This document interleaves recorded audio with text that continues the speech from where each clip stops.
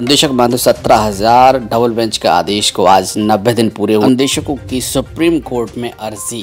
माननीय कोर्ट के आदेश का पालन करना होगा यूपी सरकार को देना होगा मानदेय सत्रह हज़ार एक वर्ष का। नमस्कार, आप देख रहे हैं निदेशक न्यूज़। स्वागत आप सभी का हमारे यूट्यूब चैनल निदेशक न्यूज़ पर। साथियों, यहाँ पर शुरू करने से पहले एक छोटा सा निवेदन अगर चैनल पर नए हैं तो चैनल को सब्सक्राइब कर लें और बेल आइकन प्रेस कर लें। निदेशक मानदेय सत्रह के डबल बेंच आदेश को आए आज पूरे नब्बे दिन हो गए, लेकिन यूपी सरकार ने अंधेशक को मानदेय सत्रह हज़ार जो डबल बेंच पे आदेश किया था, अभी तक उस आदेश का पालन नहीं हुआ है। साथियों, यहाँ पर लगातार अंधेशक अपनी मांग कर रहे हैं। सदन में लगातार अंधेशक और शिक्षा मित्रों के इस मुद्दे को उठाया जा रहा है कि उनको उनके हक, अधिकार मिले, उन्हें समान कार्य, समान वेतन मिले। बजट में भी अभी तक कुछ क्लियर नहीं हुआ है कि उनको क्या राहत मिल पाएगी इस बजट में जो अभी अभी हाल ही में पेश हुआ है? लगातार साथियों, ये भी खबरें आ रही हैं कि मानदेय सत्रह हज़ार जो एक वर्ष का आदेशित किया है डबल बेंच ने, वो सरकार जल्द देगी अंदेशकों को। या तो होली के तोहफे के रूप में होली से पहले देगी, या फिर होली के बाद प्राप्त हो सकता है। अंदेशकों का मानदेय सत्रह हज़ार। ऐसी खबरें भी आ रही हैं। देखते हैं अमिताभ अग्निहोत्री ने क्या कहा है। अंधेशक मानदेय सत्रह हज़ार और शिक्षा मित्रों के लिए समान कार्य, समान वेतन को लेकर।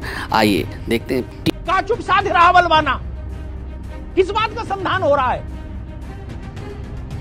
सत्रह हज़ार रुपए अनुदेशकों को दिया जाए महीने में। सिंगल बेंच का फैसला आया सर बाबू चले गए डबल बेंच डबल बेंच ने भी वही कह दिया हाई कोर्ट के। अब क्या संयुक्त राष्ट्र संघ जाएँगे? बेसिक शिक्षा सचिव क्यों नहीं दे सकते? साथियों देखा आपने लगातार अपने चिरपरिचित अंदाज में बेबाकी से सवाल करते हुए अंधेशक शिक्षा मित्रों को मान सम्मान के लिए उनके समान कार्य समान वेतन के लिए आदरणीय श्री अमिताभ अग्निहोत्री जी। यहाँ पर एक Uttar Pradesh junior high school पूर्व माध्यमिक शिक्षक संघ उत्तर प्रदेश के द्वारा आवाज़ उठाई गई है। शिक्षा मित्र अन्वेषकों के मानदेय को लेकर उनका मानदेय बहुत कम है। उनका मानदेय कम से कम पच्चीस हज़ार रुपये प्रतिमाह किया जाए। साथ ही जो शिक्षा मित्र अन्वेषक हैं और जो योग्यता पूर्ण कर चुके हैं, उनको शिक्षक पद पर समायोजित किया जाए। अरे महोदय अन्वेषक तो पहले से ही ट्रेंड है और सारी योग्यताएँ पूर्ण करते हैं। भले शिक्षा मित्र कुछ साथी नहीं हो तो लेकिन अन्वेषकों का तो किया जा सकता है।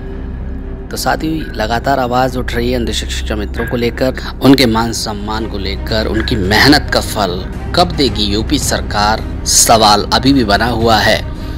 तो ये थी साथियों, अब तक की खास रिपोर्ट। मिलते हैं किसी और अपडेट के साथ।